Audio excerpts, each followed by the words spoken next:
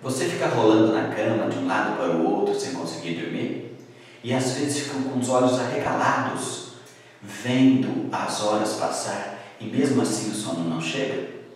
É verdade, a insônia acaba com a qualidade de vida das pessoas. Muitas pessoas deitam na cama, mas parece que tem espinhos na cama. Elas não param, vindo de um lado para o outro, a perna incomoda, a travesseira incomoda, e às vezes tem que até ficar contando carneirinhos para o sono chegar. Mas o sono nunca vem. Muitas pessoas já passaram até por médicos, e os médicos prescreveram medicamentos fortes, como benzodiazepínicos, Rivotril, Bromazepam, Diazepam, mas nem isso adiantou. Isso acaba deixando você lesada no dia seguinte. Para você melhorar e passar a dormir melhor, você deve tomar atitudes simples que eu vou ensinar nesse vídeo.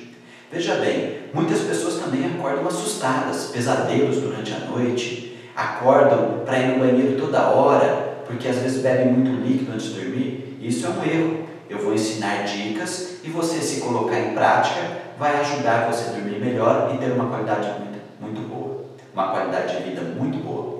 Veja bem, milhões de pessoas sofrem de insônia hoje. Não é só você. A correria do dia a dia gera um estresse, um estresse grande que acelera o seu cérebro. E chega à noite, você vai dormir, seu corpo fica muito acelerado e você não consegue dormir.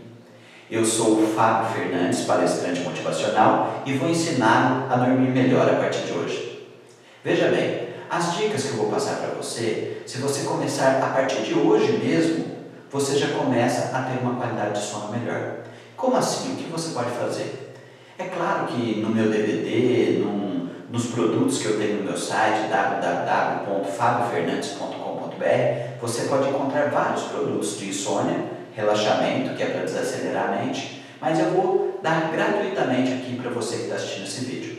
Veja bem, se você deitar na sua cama e começar a fazer cálculos mentais, ficar pensando em tudo que passou no dia seguinte, ficar vendo sua conta de, no banco está estourada, ficar tentando relembrar as coisas que passou na sua cabeça, ficar fazendo planos para o futuro, tendo ideias, isso vai prejudicar essa qualidade do sono. Um sono que a gente deve ter durante a noite, que é um sono profundo, que é o estágio do sono onde você repõe energia. Então você deve deixar a mente o mais vazia possível e também colocar uma oração na sua mente. Independente da sua religião, você pode fazer uma oração uma oração de qualidade, uma oração com muita fé, que você vai confiar mais no dia seguinte. Um outro fator que influencia é a iluminação. Se a luz estiver muito forte no seu quarto, vai demorar para você dormir. Se você tem o erro de deixar a luz acesa, o abajur aceso, isso atrapalha o seu sono, pois seu, seu cérebro libera um, um hormônio chamado cortisol. O cortisol é um hormônio que faz você acordar durante o dia. Então, quando aquele dia está ensolarado, aquele sol bonito, você desperta melhor. Quando está aquele dia nublado, escuro, você demora para acordar, não é verdade? Dá vontade de ficar na cama. Então, o cortisol, quando é liberado no cérebro, ele te desperta. Então, à noite não deve ter iluminação. Abajur bem fraquinho e desligar tudo na hora de dormir. Nós precisamos ficar no escuro, pois o cérebro vai liberar melatonina. Melatonina é um hormônio que, depois dos 55 anos, a pessoa começa a diminuir a produção dele. Então você pode até tomar, porque hoje a Anvisa já liberou para as farmácias comercializarem aqui no Brasil. Mas é claro, precisa de uma prescrição médica. Converse com o seu médico a respeito. E às vezes você pode começar a melatonina que vai te ajudar. Melatonina também ajuda a renovar células que foram expostas ao estresse. Então ela, ela ajuda você a manter a sua jovialidade, ajuda você a ficar mais jovem, porque ela não deixa você envelhecer, porque ela combate os radicais livres. Se você observar na natureza também, o que controla o sono e a vigília dos animais, dos gatos, das galinhas, também é iluminação. Você vê que se você acender a luz do galinheiro de noite, as galinhas descem e começam a ciscar. Você vê nas granjas, os, as galinhas ficam com a luz acesa o tempo todo, 24 horas. Os franguinhos vão crescendo, crescendo, crescendo e em 23 dias já estão prontos para abate. Por quê? Por causa da iluminação. A iluminação, além de despertar a vontade de você comer, estimular seu apetite, ela também desperta por causa do devido hormônio cortisol.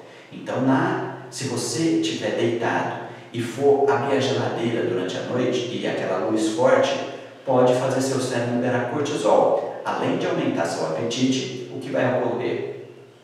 Você também vai perder o sono. e aí demora para dormir depois, vai ficar rolando na cama até o sono vir. O que é recomendado para a gente dormir, a quantidade de horas, são 8 horas em média por noite, mas muitas pessoas dormem menos. E aí você pode tirar aquele cochilinho depois do almoço. Às vezes, tem pessoa que não gosta porque atrapalha a digestão. Então, cada um tem um ritmo biológico. Outra coisa também que eu quero explicar é que no sono tem várias ondas: alfa, beta, delta, teta. Então, a melhor onda é uma onda onde você relaxa totalmente seu corpo, onde você em delta, onde você repõe energia. É aquele sono profundo, sono reparador, onde você acorda descansado, motivado, entusiasmado. Mas tem também o sono REM, que é o sono com sonhos. Sono REM significa Rapid Eye Movement em inglês, ou movimento rápido dos olhos. Quando seus olhos estão movendo rapidamente, quando você está de olhos fechados dormindo, é sinal que você está sonhando. Quando você está sonhando, você perde energia. Como se você estivesse correndo de um cachorro, você acorda cansado. Então você gastou energia durante a noite. Se você é professor, está sonhando que está corrigindo prova, o que, que acontece? Você acorda cansado também. Tá? Então nós temos que ter mais sonos profundos do que sono com sonhos. O sono com sonhos você perde energia. Um outro fator que vai influenciar seu sono é a temperatura do quarto. O quarto tem que ser climatizado, ou um ventilador, ou um ar-condicionado. O ar-condicionado, se você colocar uma temperatura entre 23 a 25, 24 graus mais ou menos, você vai dormir com mais tranquilidade, uma temperatura que você vai conseguir dormir tranquilamente. Pois às vezes muito calor ou muito frio atrapalha o seu sono. O que você pode fazer também é colocar uma música no seu celular, uma música calmante, relaxante, uma música tranquila que desacelere. Quando você faz isso, você dorme com mais facilidade. Então, essa canção vai ajudar você a relaxar. Mas nunca fique olhando as mídias sociais no celular antes de dormir. Ficar olhando Facebook, WhatsApp, isso vai acelerando seu cérebro. E a luminosidade do celular também atrapalha o seu cérebro, fazendo produzir cortisol. Outro fator é a televisão no quarto. Televisão no quarto é um veneno. Evite a televisão no quarto pois a televisão faz com que o seu cérebro fique acelerado. E também tem pessoas que têm um péssimo hábito de assistir filmes policiais, Ratinho, Cidade Alerta, da Atena, Balanço Geral, Jornal, só notícia ruim vai entrando no seu cérebro, você vai sonhar com coisas negativas. E isso também vai atrapalhar seu sono. O ambiente de dormir tem que ser um templo, um templo tranquilo, calmo. Deve evitar ter brigas entre casal. Se você deitar e começar a discutir com seu marido, com a sua mulher, relacionamento, e falar dos problemas dos seus filhos, vai demorar para pegar no sono e vai atrapalhar a sua qualidade do sono. No outro dia você acorda cansado, irritado, sem ter aquela produtividade total no outro dia. Então é importante você evitar fazer cálculos mentais antes de dormir, ficar pensando se seu dinheiro vai dar para pagar aquelas contas. Tudo isso vai acelerar seu cérebro e você vai sonhar com isso. Se você sonhar demais, você acordará cansado. Lembra do sono REM? Atividade cerebral é como se a gente tivesse acordado do sono REM. Então, evitar ficar pensando em reuniões. Ah, eu tenho que falar isso na reunião no dia seguinte. Então, veja bem, se você ficar pensando todas essas coisas, acelerando seu cérebro, seu corpo também fica acelerado, você não consegue parar na cama. Então, é importante você relaxar a mente para o corpo relaxar. Outra coisa que ajuda você a relaxar é evitar a cafeína 4 horas antes de dormir. Por quê? A cafeína é um estimulante, ela vai acelerar seu cérebro. Se você. A cafeína não tem só na xícara de café, tem no chocolate, medicamentos para dor de cabeça, neosaldina, né? que tem a cafeína, o chamate. Mas é claro que se você pode beber um chazinho de camomila, um chazinho de maracujá, raiz de maracujá, qualquer coisa assim que você sabe que faz bem para você desacelerar. Veja bem, agora se você beber muito líquido antes de dormir, o que vai ocorrer? Você vai ter que levantar várias vezes para ir no banheiro. Então, se você levantar várias vezes para ir no banheiro, seu sono vai ficar picado. Então, uma dica muito boa para você dormir melhor. Anote todas as coisas que estão na sua mente antes de dormir. Tudo que te preocupa, tudo que está te incomodando, anote no papel, porque você vai ver que vai dormir com mais facilidade as suas pendências, faça as anotações no papel, porque vai sair aquelas preocupações da sua cabeça e vai no papel. Se você acorda de madrugada e olha para o papel, já sabe que está ali, não precisa se preocupar. Ah, se você não coloca no papel, você fica pensando, ó, oh, tem que me inscrever no canal do YouTube do palestrante Fábio Fernandes. Não posso esquecer. Aí você acorda de madrugada, está quase dormindo, lembra de novo isso, lembra de novo isso. Ah, é Fábio Fernandes, Fábio Fernandes. Então, se eu falo no telefone para você, fica na sua cabeça. Então, se você anotar no papel, sai da sua cabeça e vai para o papel. Aí você dorme com mais tranquilidade.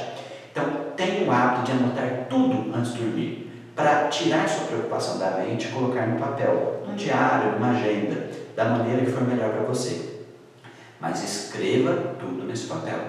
Um outro fator que eu posso te ensinar, ou nesse ou em outro vídeo, são técnicas de relaxamento, mas eu vou ensinar no próximo vídeo.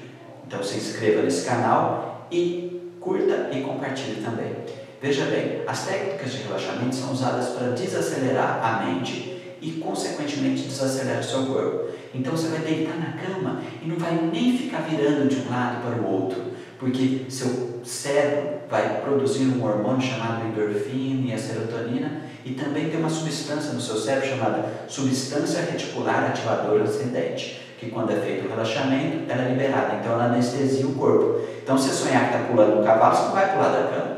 Você vai continuar perfeitamente deitado, tranquilo, devido a essa substância reticular ativadora ascendente. Então, se você fizer técnicas de relaxamento, que é concentrar em várias partes do corpo, e se for um relaxamento guiado, eu vou falando com você mentalmente e você vai conseguir dormir melhor. São técnicas de indução.